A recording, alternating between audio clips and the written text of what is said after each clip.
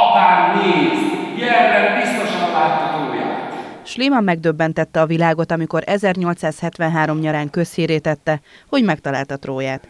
Az amatőr régészt Keller János a Vörösmarty Színház színművésze alakítja. A darabot Matúz János írta és rendezte. Mint azt elmondta, a főszereplő kitartása példa lehet a mai diákság előtt is.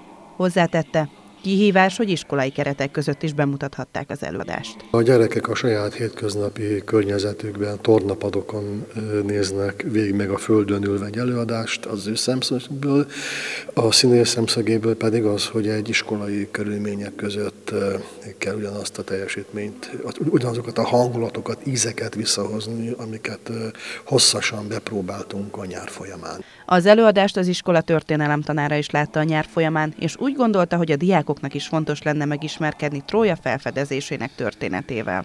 Több érzékszervüket mozgósítja, ennek következtében valószínűleg jobban meg is marad a téma bennük, illetve hát a múlt héten egy projekt keretében már foglalkoztunk a trójai háborúval, illetve Sliman Henrik életével. Az előadáson 150 diák vett részt. Ők két felvonásban nézhették meg a darabot szivacsokon és padokon ülve az intézmény tornatermében.